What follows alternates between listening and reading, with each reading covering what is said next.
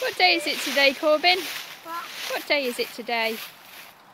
Friday. Do you know what the date is? Yeah.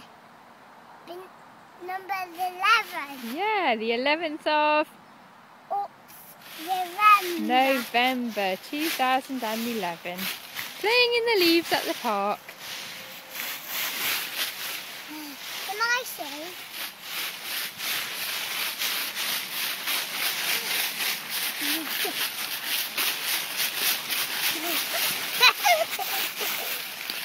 Hehehehe